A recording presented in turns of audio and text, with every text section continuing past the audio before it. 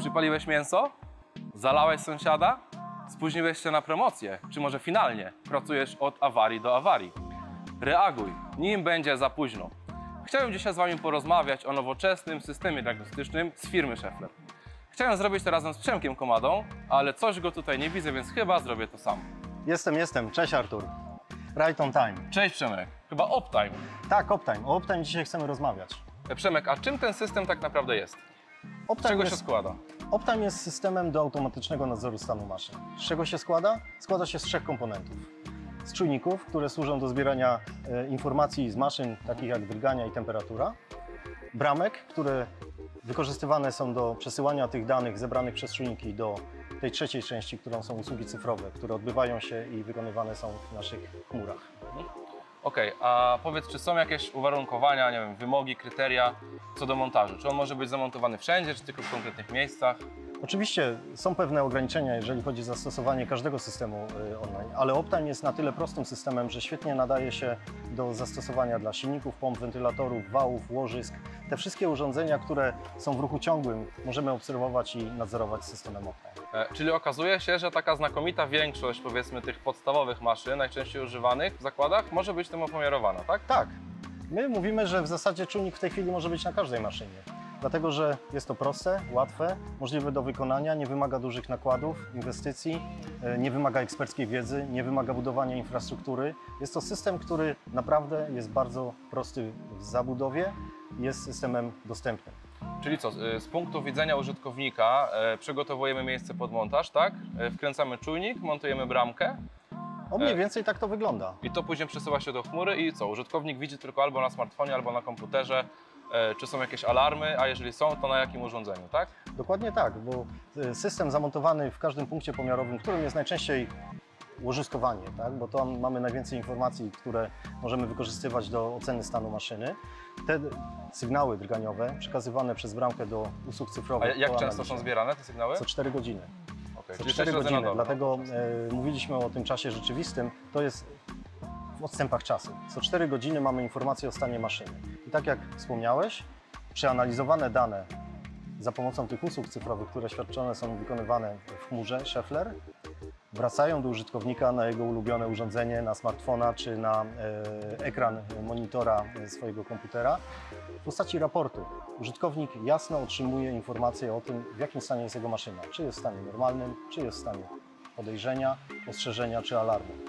Więcej, oprócz tego alarmu czy ostrzeżenia otrzymuje informację, co jest przyczyną tego alarmu. Więc dostaje jasne wskazówki do e, natychmiastowego działania, czyli w ręce ma informacje i obraz, pełen obraz zakładu, jeżeli chodzi o swoje urządzenie. No dobra, a to, że one tak często zbierają te dane, to jakoś nie powoduje tego, że bateria jakoś na krótko starcza? Jak, jak to wygląda? No nie, no system nie, nie konsumuje dużej ilości energii. E, pomiędzy tymi pomiarami czujniki są uśpione, czyli nie korzystają, nie, nie zużywają baterii. My szacujemy czas pracy tej baterii na 5 lat. W takich warunkach temperaturowych otoczenia normalnych, powiedzmy do 50 stopni. Jeżeli będzie pewna podwyższona temperatura, może być pewna redukcja e, trwałości baterii, niemniej jednak są to lata, e, które pozwalają po prostu zebrać tysiące danych. A powiedz, jak one się komunikują? Czy, e, czy każdy czujnik musi być widoczny z bramką, czy nie? Czy to jest Bluetoothem robione? Czy jak, jak to działa? No nie, używamy niezawodnej technologii, to jest Wirepass Mesh. E, Ta technologia pozwala budować sieć tak zwaną kratową, czyli czujniki komunikując się między sobą, każdy z nich jest nadajnikiem i przekaźnikiem, tworzą sieć połączeń w automatyczny sposób, szukając najlepszej drogi do bramki. Czyli nie muszą być w zasięgu wzroku, wystarczy tak jak tu jesteśmy na hali, e, w otwartej przestrzeni, ten sygnał e, jest przekazywany właśnie poprzez tą sieć zbudowaną przez czujniki, każdy z nich jest węzłem. Te odległości między węzłami mogą być e, duże, bo w warunkach halowych, w warunkach takiego otoczenia przemysłowego nasze doświadczenia pokazują 60 czy nawet 70 metrów bez większego problemu, dużo, jeżeli dużo. chodzi o odległość między węzłami, w otwartym powietrzu nawet 100 metrów. Więc naprawdę niezawodna sieć połączeń, która pozwala e, zbierać te dane z każdego punktu e, do jednej bramki. Możemy skumulować nawet 50-60 czynników. A powiedz mi jeszcze, Przemek, jak to jest z tymi raportami? Czy generalnie klienci muszą mieć fachowców od diagnostyki, którzy będą się tym zajmować i analizować te raporty? Czy może e, forma, w jakiej Wy to dostarczacie, jest wystarczająca dla, że tak powiem, laika?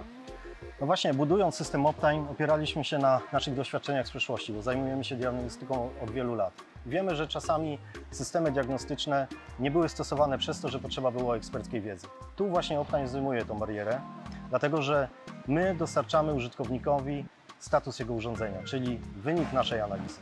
Stąd nie jest potrzebna ekspercka wiedza, żeby otrzymać informację, że dane urządzenie wymaga mojej uwagi. E, Co więcej, oprócz ostrzeżenia, system jest w stanie rozpoznawać automatycznie podstawowe problemy dotyczące maszyn wirnikowych, jak niewyważenie, niewyosiowanie, uszkodzone łożysko, uszkodzone uzębienie, kawitacje e, czy jakieś problemy ze smarowaniem. I oprócz alarmu, ostrzeżenia, użytkownik otrzymuje informację, co może być przyczyną tego uszkodzenia. Stąd nie ma potrzeby posiadania eksperckiej wiedzy. Każdy użytkownik, który ma dostęp do systemu, widzi, wyciągając swojego smartfona, y, pełen obraz zakładu. Na jednym ekranie ma skumulowane informacje dotyczące y, maszyn, które wymagają jego uwagi. A powiedz mi jeszcze, e, jak to jest z tą chmurą? No bo tak, te dane idą na tą chmurę i mówisz, że no, użytkownik dostaje powiedzmy informacje, generowane raporty, czy gdzieś jest już jakaś tam awaria może mieć miejsce. E, Ta chmura to jest jakaś sztuczna inteligencja, jakiś wasz algorytm? Coś jakbyś mógł więcej na ten temat powiedzieć? No jest to złożone, złożone, e, złożone oprogramowanie, które tak naprawdę wykorzystuje ekspercką wiedzę Scheffler. E, Tą wiedzę dotyczącą diagnostyki i nadzoru stanu maszyn, którą rozwijamy od lat. E, Jesteśmy producentem łożysk. Wiemy, jak one pracują, w jakich maszynach i warunkach e, są stosowane. Znamy się na diagnostyce maszyn, na diagnostyce łożysk, więc ta wiedza ekspercka dotycząca nadzoru stanu maszyn jest zaszyta w tym oprogramowaniu i jest w tej chwili wspomagana. Oczywiście wykorzystujemy te nowe technologie, które wspomagają tą analizę. Jest zaprzęgnięta sztuczna inteligencja, wykorzystujemy uczenie maszynowe. Wszystko to razem daje, że system działa coraz bardziej niezawodnie. E, A powiedz, jak to wygląda, jeżeli chodzi o integrację z systemem IT klienta? Czy trzeba to integrować, czy jest to zewnętrzny system?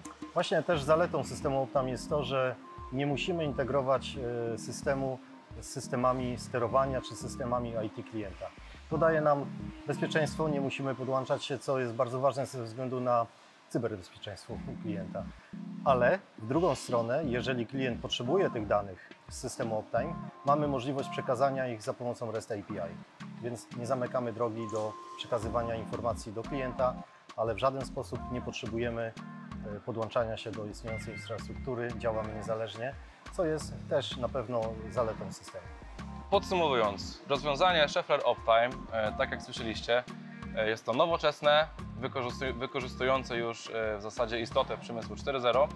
E, Rozwiązanie diagnostyczne, które jest proste w użyciu, nie musicie mieć wiedzy eksperckiej. Ono działa tak naprawdę w czasie rzeczywistym. E, Dodatkowo firma Margo stała się partnerem serwisowym Optime wspólnie z firmą Schaeffler. E, Dlatego możemy u klientów dokonywać takich instalacji bezpośrednio, możemy, będziemy je nadzorować. e, Także jeżeli tutaj klient, powiedzmy, jeżeli Wy e, czujecie się nie do końca na siłach, e, skontaktujcie się z nami, po prostu no, przyjedziemy, e, zamontujemy, będziemy system e, cały czas monitorować e, po to, żebyście byli spokojni o stan Waszych maszyn. Dzięki Przemian bardzo. Dziękuję Artur. Powodzenia. Dzięki.